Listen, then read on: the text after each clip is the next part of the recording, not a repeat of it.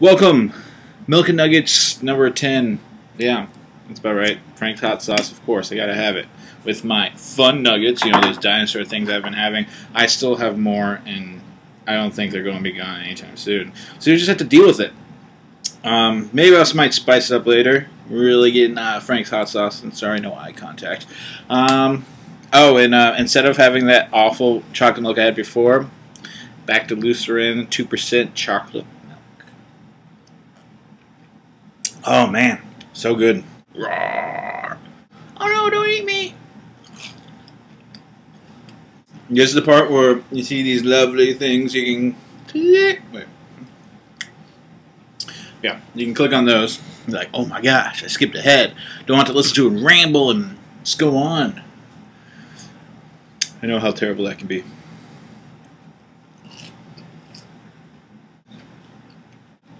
So last night I saw The Watch that Ben Stiller, Vince Vaughn, Skinny Jonah Hill, and Richo Ayokato. I, I'm so upset with myself for not knowing how to pronounce this or say his name.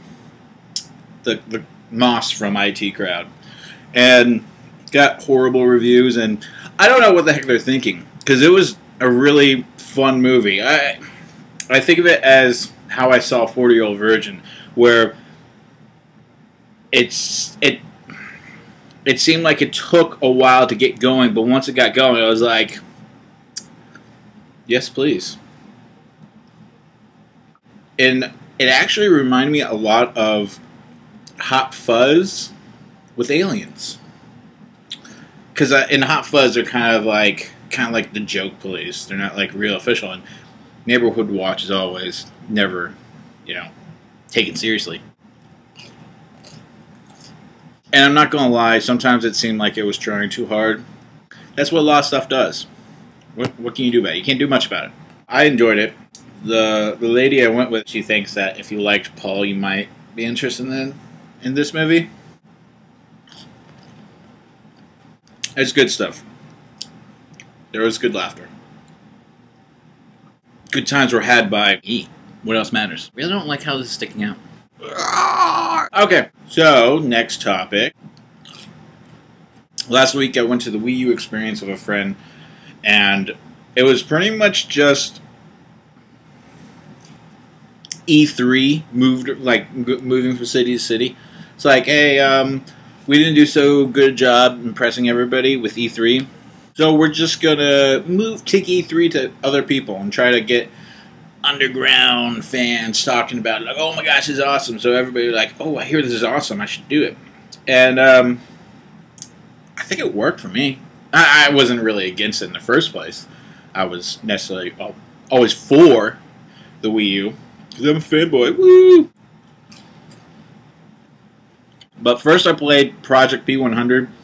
I wasn't impressed. It, it felt kind of like a button mashing Pikmin instead of like controlling the herd of Pikmin, you are the herd. You're one guy in the herd, and you can't really tell where your guy is, and you just run around and mash buttons, and you do stuff. There is one thing where you go into a building, you go to the screen on the um, the gamepad, and it didn't that that was the one time when I looked at it, it did not show off the prettiness of the pad. It's not HD pad, so we expect.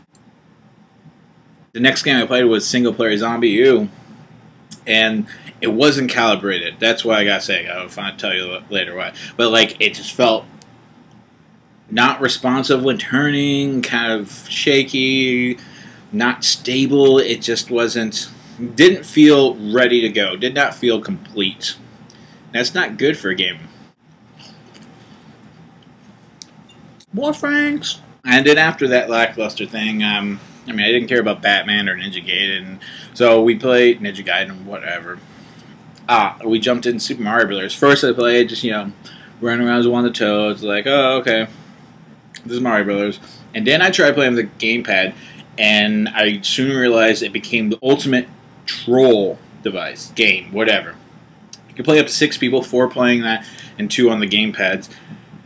And I spent the whole time just putting blocks in front of people or pushing enemies into them. I mean, that's all you can do. create box and push enemies, but that's all I did. It was hilarious. I think I was pissing them off. There's one part where you fall and try to collect coins. I kept on putting bricks underneath them so they couldn't fall. I was having a blast. Eventually, I was like, okay, I decided to help one guy fly and get the coins. Boo hoo. But that was fun.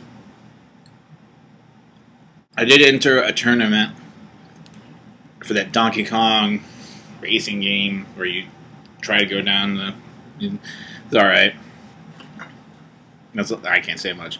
But then last thing I played was ZombiU multiplayer. Now it wasn't like deathmatch free for all. There was the one person playing. They actually had the Wii U Pro controller, which is a great Classic Controller Pro. That's what it is. It's a Classic Controller Pro with tweaked button layout. That's all it is. And it's great. Felt good in the hands, except for reaching the Y button, because your right hand, you're using the joystick, the joystick's at the top, and you gotta reach down to the Y button, and it's not exactly the closest.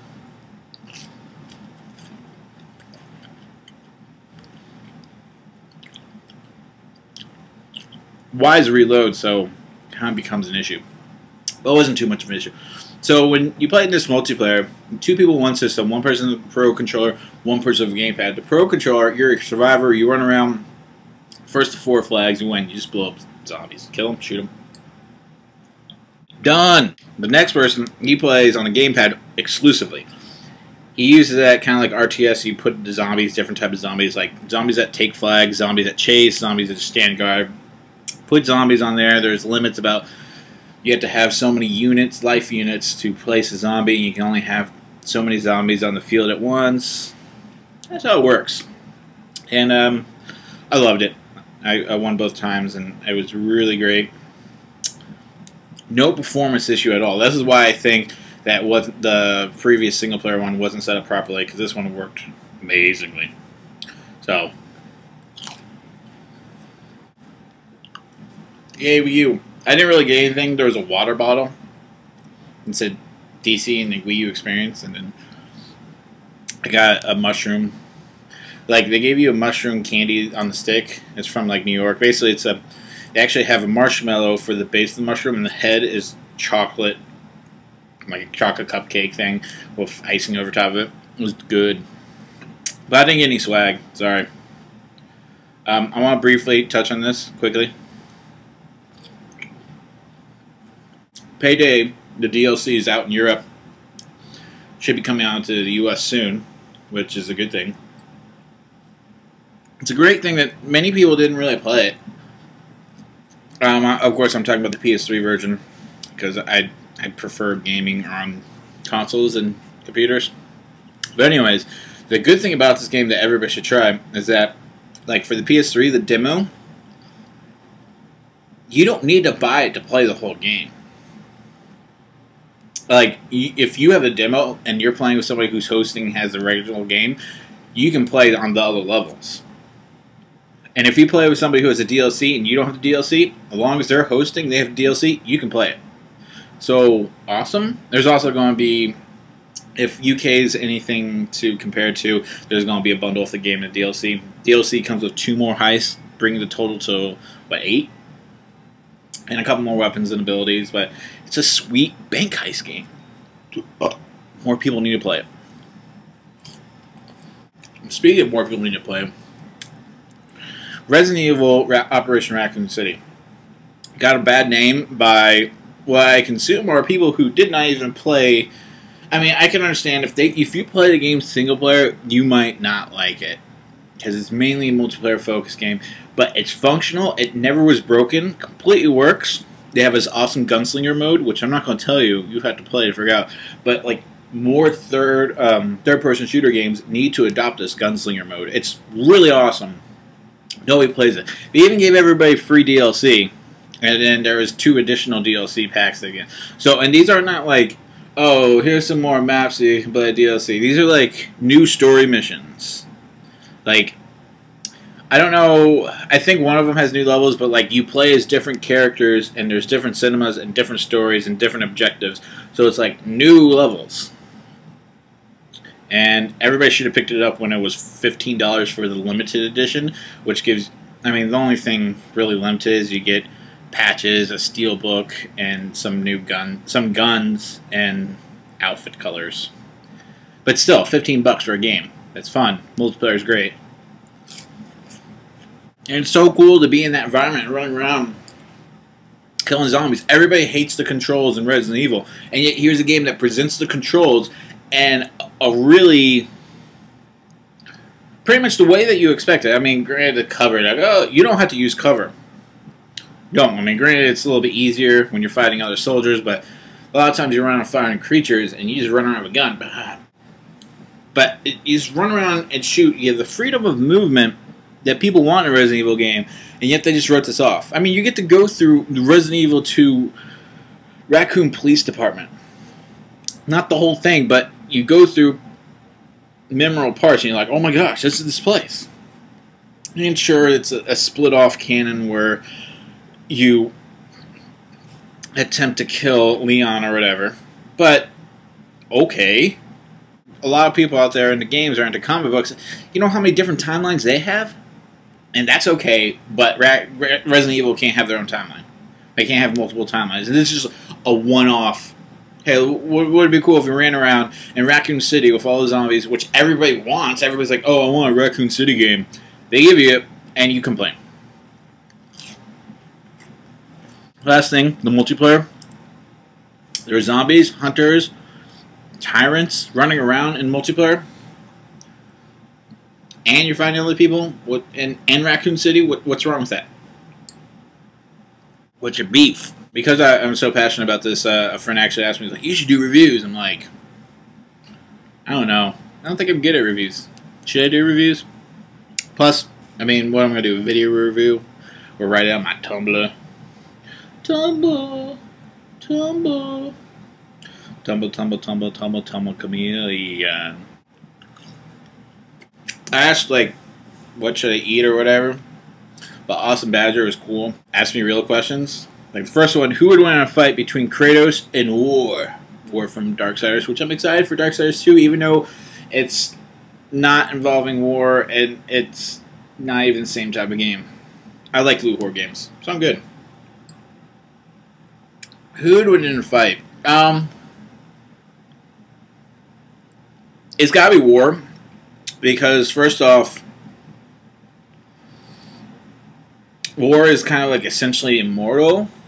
I guess you could say Kratos is too, but even though he spoiler kills himself, and of course he comes back, you know he will. Um,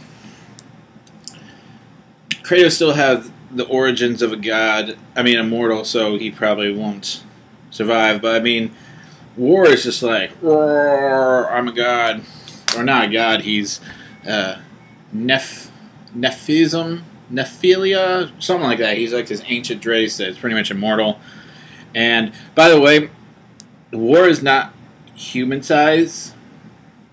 He's like twice as big as humans, and he's not slow, and he has a gigantic sword. I don't think Kratos would really stand a chance. Of course, after saying that, realize that Kratos did go against up against Titans, even though how can a little Titan like, oh, I can't hit you because I'm going so slow. I still have faith in War. I just feel that he's a stronger force.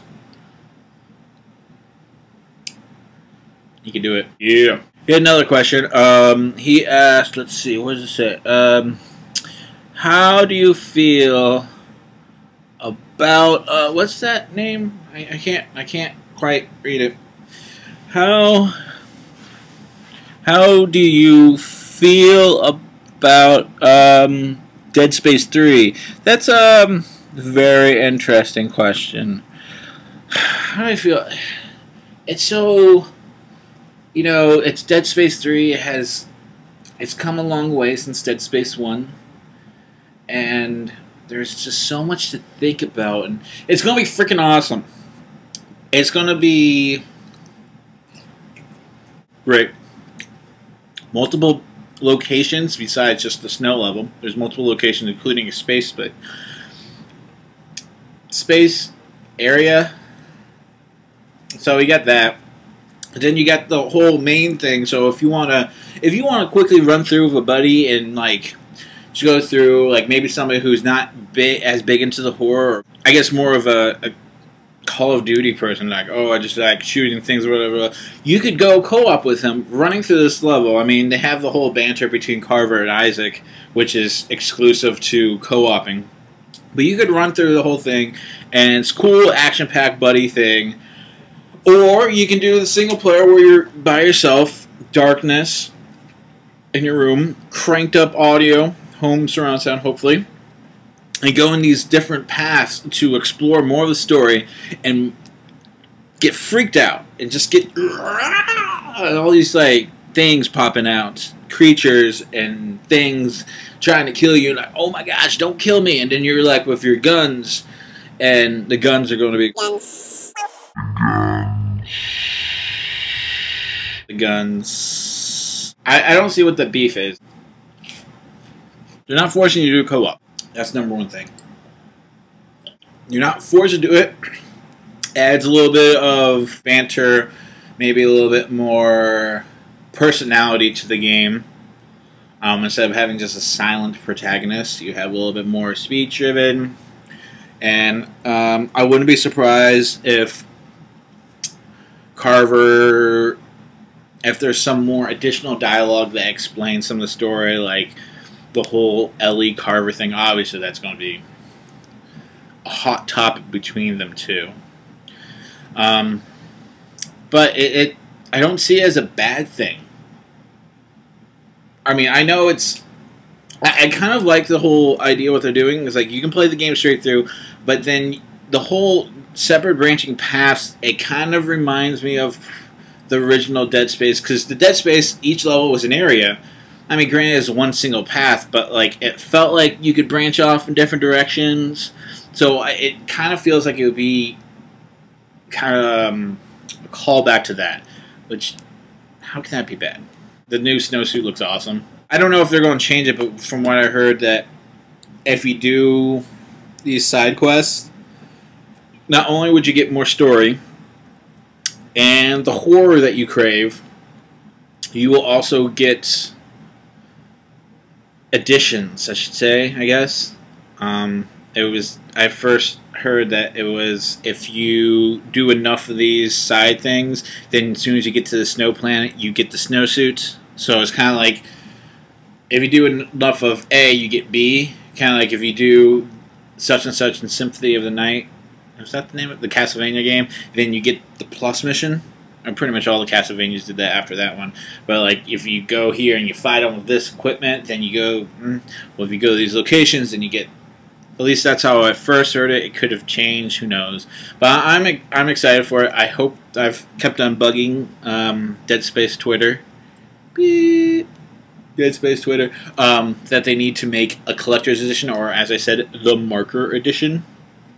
Because you know this is all about the marker, and the marker is going to be more explored in this one. So why not? Marker Edition seems perfect. But I'm, I'm very excited. Um, yeah. I have all the Dead Space games, even the mobile one. I don't regret having Extraction. Ignition was free. But yeah, um, that's Dead Space 3. Yay.